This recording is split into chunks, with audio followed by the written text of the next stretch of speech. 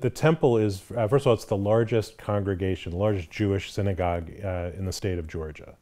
Uh, and it's the oldest in Atlanta.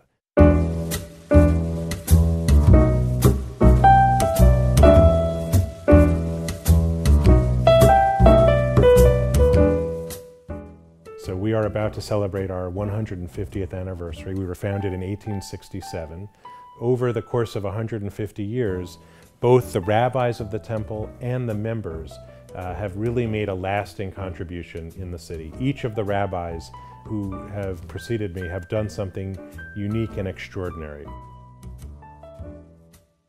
Rabbi Jacob Rothschild arrived in Atlanta in 1946. He had been a chaplain in World War II. He had grown up in Pittsburgh and he was not aware of Jim Crow. He saw it for the first time when he got off the train in 1946.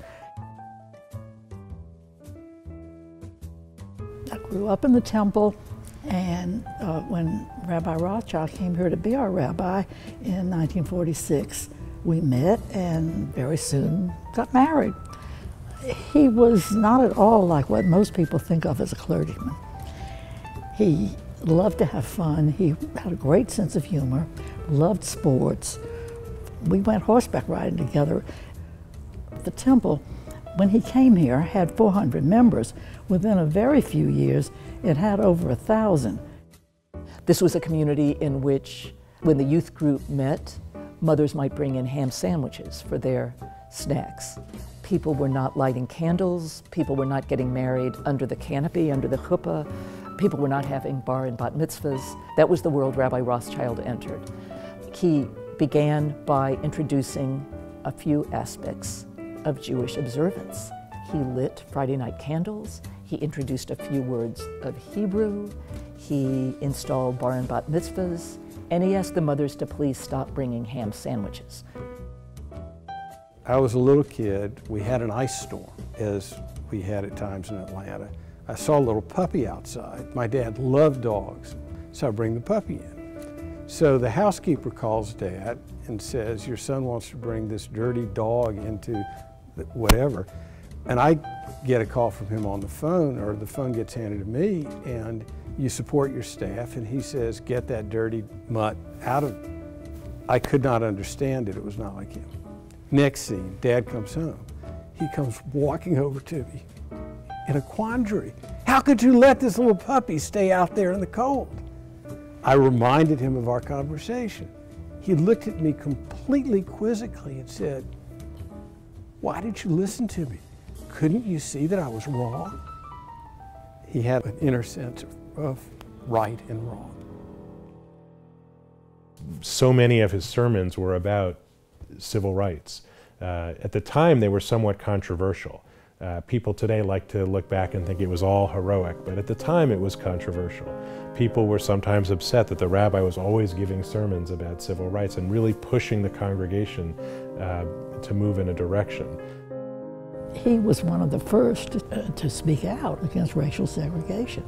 In those days, the, the saying, we need to do this, but we have to do it slowly and gradually, that was a code word for not doing it at all. I'm talking about the need for really doing it and doing it gradually, and that was what he stood for. We realized that, that there could be danger, but we didn't think about it consciously. 3:37 a.m., October 12, 1958. 50 sticks of dynamite in the middle of the night blew apart the sidewall of the temple, Atlanta's oldest and richest synagogue, which stood in pillared, domed majesty on a grassy hill above Peachtree Street. The brick walls flapped upward like sheets on a line. Offices and Sunday school classrooms burst out of the building. The stairwell came unmoored and hung like a rope ladder.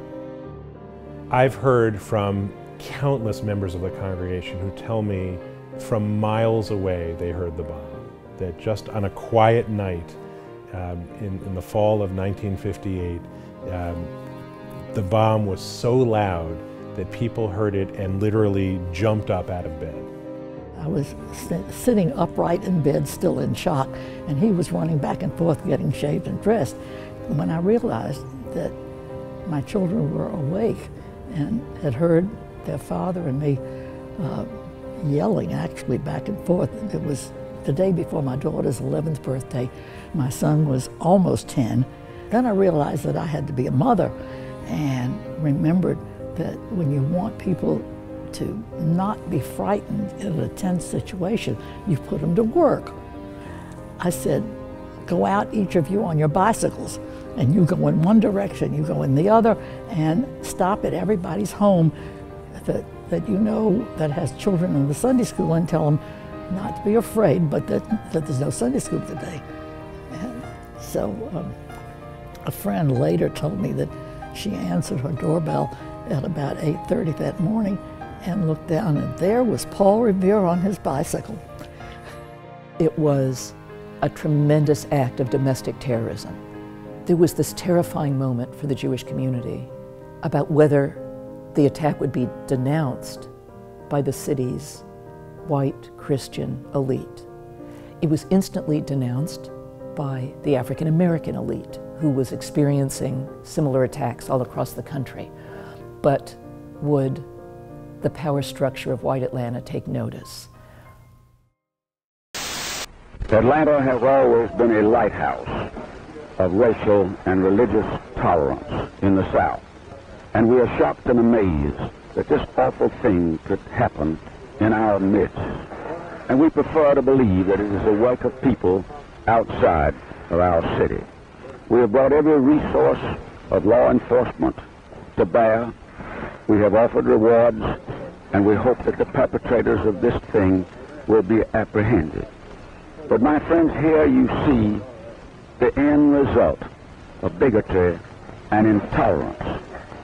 But Atlanta immediately, the leadership said, not here. And there was solidarity. Rabbi Rothschild felt defiant and he put on the on the announcement board out front on the yard, he put uh, words from the Torah, and none shall make them afraid.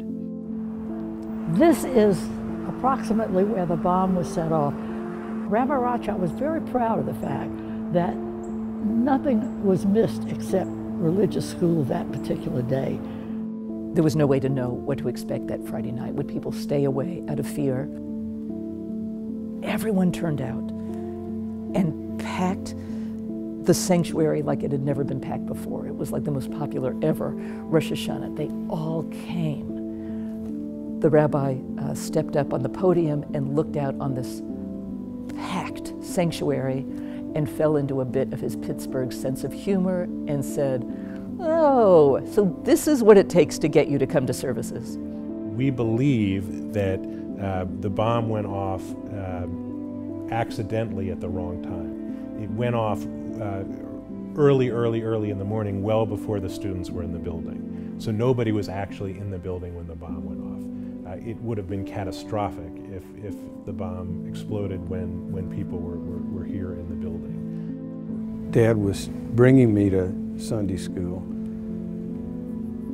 We got word on the radio that the four little girls in Birmingham had been blown up in, in the church bombing. I could see it on Dad's face.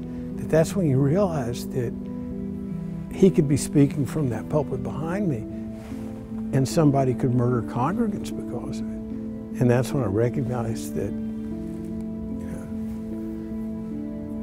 this is unspeakable.